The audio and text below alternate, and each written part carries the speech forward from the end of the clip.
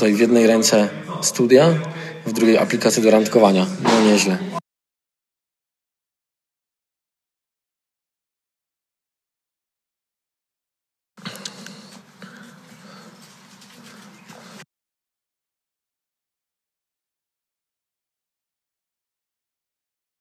Tak chodzę po domu i wydaje mi się, że rozwalenie tego odciska mogło nie być dobrą decyzją. Mogłem go zostać, żeby sobie tutaj był. Teraz nie mogę chodzić. Tak sobie człowiek żyje i zapomina totalnie, że ma wytatuowanego trąbę na nodze.